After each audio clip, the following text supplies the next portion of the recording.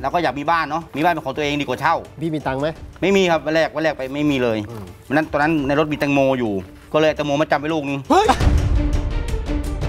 เราอยากมีบ้านเนาะเราก็ไปเจอเขาเนี่ยโพสต์เฟซบุ๊กอ่าเพื่อที่จะขายบ้าน เราได้มีการทักแชทเข้าไป หนูสนใจบ้านป้าค่ะอืมผ่อนยังไงคะนั่นแน่อะเขาบอกว่าส่งตรง กับป้าเลยหนูตามที่ป้าโพสต์เลยลูก คือผ่อนตรงกับเจ้าของบ้านโดยไม่ต้องผ่านธนาคาร บ้านเนี่ยเขาขายให้เรา8 0 0แสนกว่าอ่า50ตารางวาห้าสิบตารางวา ใช่ แล้วถ้าเกิดจะเอาที่ดินข้างๆล่ะ เพิ่มอีกค่ะ ประมาณ 7 0 0แสนกว่าบาท กี่ตารางวา เท่ากันค่ะ 50 ตารางวา เดี๋ยวก่อนนะ บ้าน 50 ตารางวา พร้อมบ้านที่ดิน 8 0 0แสนแต่ถ้าที่ดินอย่างเดียว 7 0 0แสนกว่า ใช่เท่ากับบ้านอะหลังละ 5 0,000อย่างเงี้ยเหรอที่ใช่สร้างค่ะ เนี่ยใช่ค่ะ มันผิดปกติแล้วครับพี่ใช่เอาที่ดินข้างด้วยไหมเอาค่ะ เอาด้วย เอาด้วยค่ะ ใจเราถึงอยู่แล้ว ใช่ถึงจะติดบูโรใจเราก็ยังถึงอยู่ ใช่ค่ะอ่าเพื่อลูกเพื่อลูกเพื่อลูกล้านห้าแสนห้าหมื่นพอจากนั้นแล้วเราเราชอบพื้นที่ตรงนี้ ก็ถามว่าป้าข้างๆนะขายไหมเขาบอกว่าขายค่ะ แต่ว่าต้องเพิ่มเงินนะคะ จากจากบ้านที่เราอะดาวสามหมื่นก็ต้องให้ป้าป้าอีกสองหมื่น เป็นห้าหมื่นตอนนี้ถ้าหนูไม่เอาละป้า ป้าจะสร้างบ้านเพิ่มติดกับเราบอกอ้าวไม่ได้อะเราเราก็ไม่อยากให้คนอื่นมาอยู่ใกล้ ใช่เราปากไม่ค่อยดีด้วย โอ้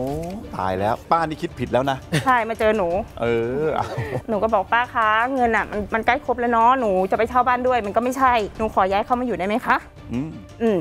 อ่าถ้าหนูจ่ายครบเมื่อไหร่อะห้าหมื่นเนี้ยหนูเข้ามาได้เลยลูก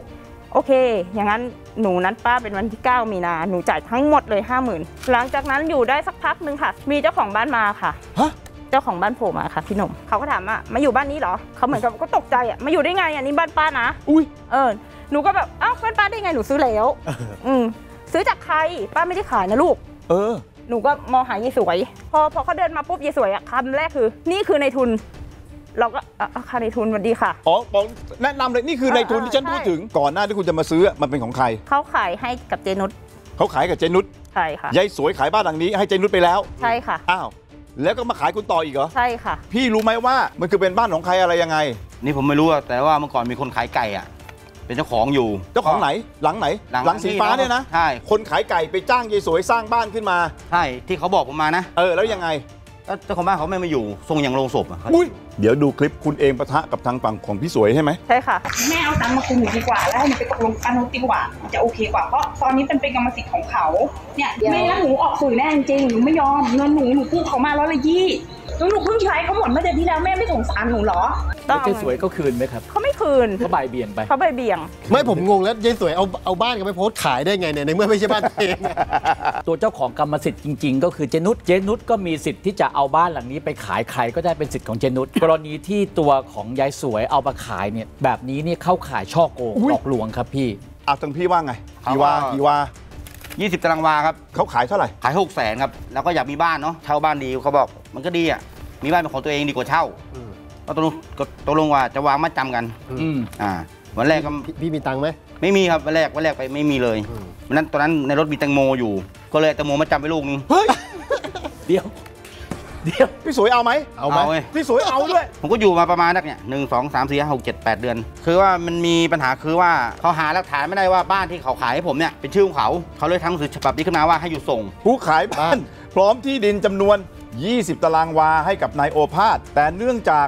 ณวันนี้ที่ดินถูกบังคับคดี จึงให้นายโอภาสหยุดส่งเดือนละ 3,000 ตั้งแต่เดือนสิงหาคมเป็นต้นไป จนกว่าข้าพเจ้าจะได้โฉนดมา บ้านหลังนี้ถูกยึดไปแล้ว เออ แล้วเขาเอาบ้านถูกยึดเอามาขายพี่ เฮ้ย มันได้เหรอ มันไม่ได้ไงพี่ คือเรื่องนี้พี่ต้องไปแจ้งความว่าผมแจ้งแล้วครับนางสวยเนี่ยช่อโกงพี่หลอกลวงพี่ปกปิดความจริงพี่พี่ไปแจ้งที่ไหน สพบ้านหมอครับ แจ้งแต่ไอ้คนรับเรื่องเขาย้ายไปแล้วตอนเนี้ยอ้าว แล้วตำรวจไม่ทำอะไรเลยเหรอ ยังไม่ติดต่อมาเลยครับฮะพี่เพิ่งแจ้งตั้งแต่เมื่อไหร่นี่ เป็นปีสองปีแล้วครับ แล้วของพี่ล่ะ เหมือนกันก็ส่งเขามาเรื่อยๆ ก็ไม่มีปัญหาทีนี้มาเพื่อนเพื่อนๆบ้านน่ะเขาก็โทรบอก ป้า รู้ไหมเนี่ย ป้าเขาโกงที่ฮะตกใจชีวิตหนึ่งจะมีบ้านสักหลังหนึ่งทำไมมันไม่ได้วะ เออ นอนไม่หลับ นอนไม่หลับโถกลัวเขาตายไปแล้วเหรอทำไมอะป้าขอโทษนะ เครียดเหรอจ้ะเขาคือคิดเรื่องนี้แหละโอ้ยสามีเครียดเรื่องนี้แล้วเสียชีวิตเลย ดูดูโฉนดที่ผมไปคัดจากที่ดินมาเออเออโทษนะครับดูหมายเลขมันไม่ตรงครับ หมายเลขไม่ตรงอีก หมายเลขโฉนดไม่ตรงกี่ไร่อะครับพี่นะรวยเลยนะครับนะไหนดูสิที่ดินแปลงนี้51เนื้อที่ประมาณ 51 ไร่ ใช่ครับ แต่แล้วที่ผมอยู่แค่ 20 ตารางวาครับ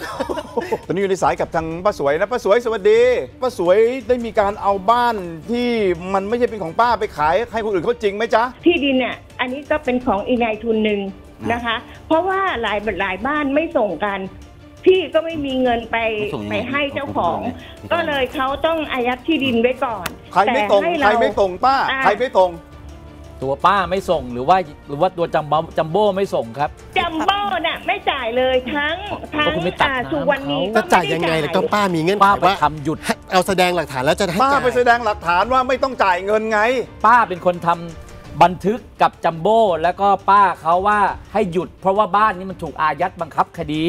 เขาขออยู่อะ จนสามไม่ปีอะคิดดูสิ ทนายแก้วแล้ว ไม่ได้ขออยู่ครับไม่ได้ขออยู่พร้อมจ่ายครับแต่ป้าไม่มีหลักฐานว่าเป็นบ้านของป้าเนี่ยมันไม่มีหลักฐานเป็นบ้านของป้าแล้วป้าบอกว่าให้คนยุติให้ด้วยหยุดจ่ายหยุดจ่ายด้วย แบบบ้านทั้งหมดป้าเป็นคนขอแบบอ่าอะไรวะแบบบ้านทุกหลังป้าเป็นคนป้าขอเราแบบคุยเรื่องเดียวกันไหมเนี่ยจทศบลป้าป้าฟังนะ คือได้ป้าเนี่ยพยายามจะอ้างสิทธิ์ว่าตัวเองเป็นคนปลูกบ้านถูกไหมฮะ แต่จริงๆแล้วเนี่ยตามกฎหมายแล้วเนี่ยผู้ที่จะมีสิทธิ์ในการที่ขายได้อย่างถูกต้องเนี่ยต้องต้องมันต้องเป็นเจ้าของก็คือเป็นเจ้าของโฉนดที่ดิน แล้วป้ารู้ไหมเขาเครียดจนผัวเขาตายเลยนะรู้ไหมว่าคนอื่นเขาทุกข์ขนาดไหนทำไมไม่เห็นใจคนอื่นบ้างเออพออยู่มาก็ตัดไฟไล่พอพี่สวยผิดสัญญาปุ๊บก็ควรที่จะมีน้ำใจให้ฉันอยู่สิก็ต้องจ่ายเงินแล้วฉันก็จ่ายเราก็จะได้ไงเอาที่ดินมามีวันไหนแบ่งให้คุณที่ไม่ได้ไงจ่ายอะดูสิในทุนที่สวยแป๊บนึงเขานะก็พร้อมแต่ครับนี่คุณเล่นไม่จ่ายเลยเขาจ่ายคุณนะเล่นไม่จ่ายเลยสามปีกว่าฟังก่อนนะป้านี่ผิดปกติและป้าสวยมาชิงมุมบอกว่า เหตุที่ไม่จ่ายเพราะเขาผิดนัดมันไม่ถูกครับ ป้าสวยนี่เอ้าเป็นคนทำบันทึกกับป้าสุวรรณีว่าไม่ต้องจ่ายแล้วนะ เออ หยุดจ่ายเพราะตอนนี้บ้านถูกยึดนี่มันอยู่ในมือผมเนี่ย ผมโชว์ไม่ได้เท่านั้นแหละเนี่ย